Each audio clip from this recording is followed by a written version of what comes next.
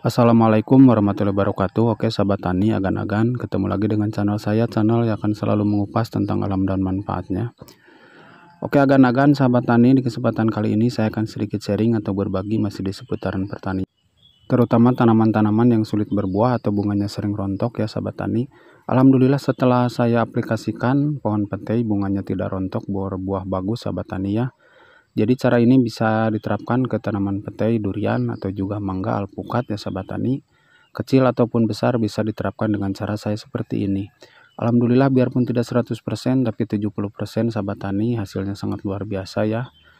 Mantul sahabat tani boleh dicoba dengan cara saya seperti ini mudah-mudahan bisa bermanfaat. Jadi sahabat tani simak saja videonya sampai selesai. Saya akan membuat racikannya dan untuk cara pengaplikasiannya disimak saja ya. Dari bahan-bahan sederhana, Alhamdulillah hasilnya sangat luar biasa sahabat tani. Yang baru menemukan channel ini mudah-mudahan bisa bermanfaat. Silahkan like, komen, dan juga subscribe. Dan juga bisa di-sharing atau dibagikan ke teman-teman sesama yang masih belajar di bidang pertanian ya sahabat tani. Oke sahabat tani untuk selanjutnya bahan-bahan pertama atau bahan pertamanya sudah siap sudah saya siapkan ya. Jadi disimak saja sahabat tani. Oke sahabat tani untuk bahan pertama di sini saya menyiapkan obat yang sudah tidak terpakai sahabat tani ya.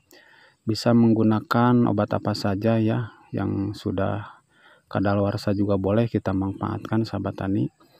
Di sini saya akan mengambil dua tablet saja ya karena ini kecil-kecil jadi untuk dosis setengah liter nanti saya akan aplikasikan saya ambil dua tablet saja ya bahan ini Oke sahabat tani untuk selanjutnya disiapkan saja ya.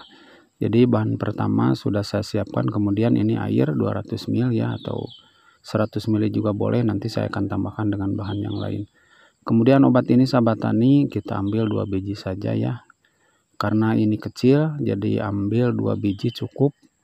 Ini bisa beberapa pohon sahabat tani jadi untuk beberapa pohon juga sangat cukup untuk tanaman seperti petai terutama yang sering rontok sahabat tani ya dan juga ini kalau yang sulit berbuah juga bisa diterapkan dengan cara saya seperti ini sahabat tani ya jadi yang sulit berbuah tanaman yang sudah besar puluhan tahun sulit berbuah atau bunganya sering rontok bisa diterapkan dengan cara seperti ini sahabat tani ya kemudian sahabat tani diaduk seperti ini atau dihancurkan dulu ya. Nah seperti ini.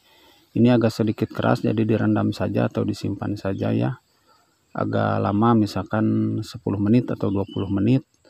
Ini agar cepat lunak atau hancur. Kemudian di sini saya tambahannya ya sahabat tani. Ini ada pupuk NPK 1515 sahabat tani ya.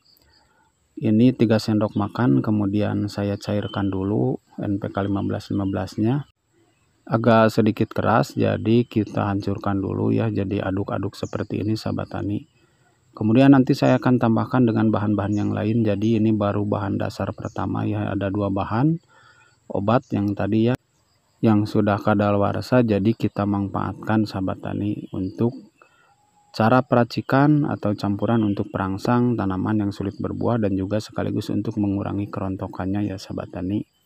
Jadi diaduk seperti ini. Kemudian sahabat tani ini obat yang sudah saya rendam ya jadi agak sedikit keras. Obat yang tadi kemudian campurkan siapkan air setengah liter sahabat tani nah setengah liter air kemudian kita campurkan. Dua tablet atau dua biji obat tadi ya sahabat tani mereknya bisa dilihat ya. Jadi ini mereknya bisa merek apa saja bisa obat apa saja ya.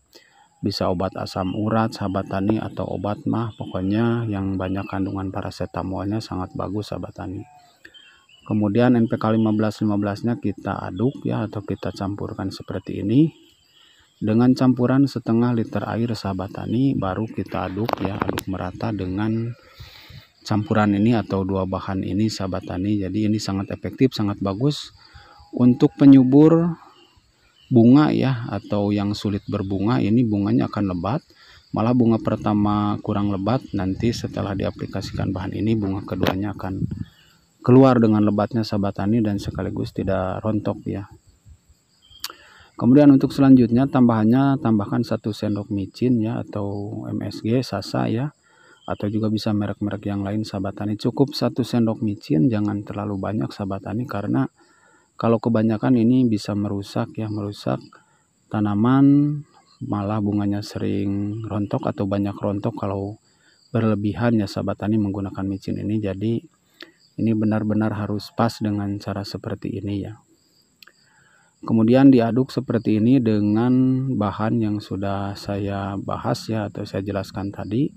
2 tablet kemudian 3 sendok NPK Mutiara 15-15 kemudian 1 sendok micin dan setengah liter air sahabat tani ya. Jadi seperti ini kemudian dipermentasikannya jadi fermentasinya sahabat tani ini cukup sekitaran satu hari saja cukup ya untuk cara pembuatan perangsang untuk semua tanaman ini tanaman yang sulit berbuah atau tanaman-tanaman yang sulit berbunga sahabat tani atau juga bunganya sering rontok Oke sahabat tani yang baru menemukan channel ini mudah-mudahan video saya ini bisa bermanfaat Silahkan like, komen, dan juga subscribe dan juga bisa di-share ya atau dibagikan ke sesama pemula penghobi pertanian, sahabat tani. Kemudian untuk biar gampang mengaplikasikannya, jadi ini bisa dilubangi atasnya sahabat tani. Nanti bisa disuntikan ke tanaman yang kita akan aplikasikan. Dan juga sahabat tani bisa ini untuk penyepraiannya, jadi bisa setengah liter ini kita tambahkan dengan kita tambahkan dengan 7 liter air sahabat tani ya jadi sangat cukup untuk tambahan 7 liter air ya jadi setengah liter bisa ditambahkan dengan 7 liter air kemudian disemprotkan ke tanaman-tanaman ya atau bisa ke sayur-sayuran tapi kalau untuk tanaman-tanaman keras cara pengaplikasiannya seperti ini sahabat tani jadi kita suntikan di akar ya jadi gores ini bisa ke tanaman-tanaman seperti petai atau juga durian atau juga alpukat ya. Ini yang sulit berbuah atau sulit berbunga atau juga bunganya sering rontok bisa diaplikasikan sekitaran. Jadi bisa diaplikasikan sekitar dua bulan satu kali sahabat tani ya untuk cara pengaplikasiannya. Jadi tinggal digoreng seperti ini kita kasih dua bulan satu kali sahabat tani untuk cara pengaplikasian seperti ini ya. Ini sekali lagi bisa diterapkan misalkan lagi atau sebelum berbunga lagi pucuk muda boleh diaplikasikan ya sahabat tani. Tapi kalau untuk yang sulit pembuahan atau sulit berbuah bisa dikasih sebelum ya atau misalkan sebelum berbunga kita kasih nanti akan keluar bunga sahabat tani ya.